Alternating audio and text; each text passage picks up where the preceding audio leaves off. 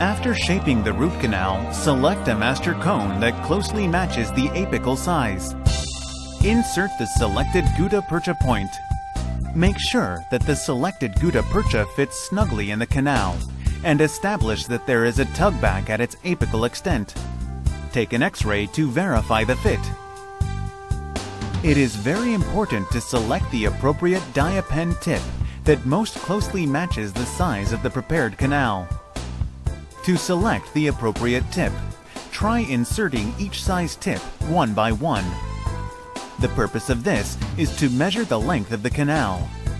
Select the largest tip which can be inserted 3 to 5 millimeters from the apex. Once the appropriate tip is selected, move and set the endo stop according to the measured length. To select an appropriate size for the hand plugger, insert the hand plugger and match it to the DiaPen tip size. Coat the fitted master cone with sealer and insert the cone repeatedly into the canal two to three times. This will help eliminating any gaps between the gutta percha and the surface of the canal. Turn on DiaPen by pressing the power button place pen tip in the orifice of the canal and activate DiaPen by pressing the operation button. Using the activated pen tip, cut the gutta percha cone. It takes less than one second to reach the set temperature once the operation button is pressed. Be careful not to come in direct contact with the tip, which may be extremely hot.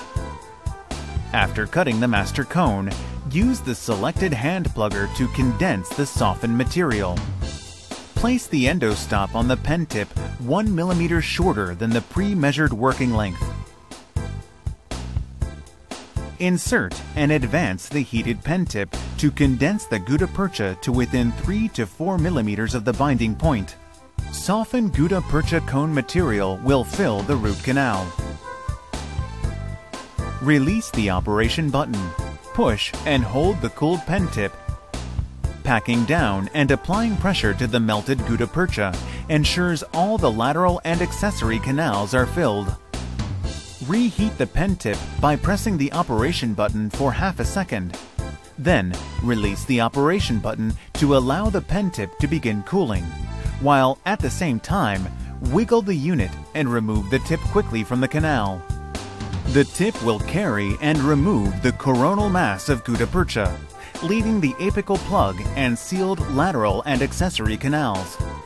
Use the hand plugger to condense the remaining gutta percha material. Using Diadent's Diagun, press the power button for 1 to 2 seconds to activate the unit and to adjust to the desired temperature. Using Diagun's tip, Make contact with the upper part of the remaining gutta percha material in the canal and transfer heat for 3 to 5 seconds to soften the material. Using backfill technique, begin extruding the melted gutta percha obturator so that only 2 to 3 millimeters of the canal is filled behind the apical plug. Do not attempt to backfill the entire canal in one shot after the extruded material fills the backfill space, the back pressure of the extruded gutta percha will move the tip back out of the canal. Slowly withdraw the gun tip from the canal. Take your time. After withdrawing Diagun's tip, use the hand plugger to pack the filled gutta percha material. Repeat the backfilling process using Diagun's heated tip to make contact with the upper part of the previously extruded gutta percha obturator. Wait for 3 to 5 seconds, allowing the tip to reheat the material. Begin extruding the melted gutta percha obturator 2 to 3 millimeters away. Slowly remove Diagun's tip.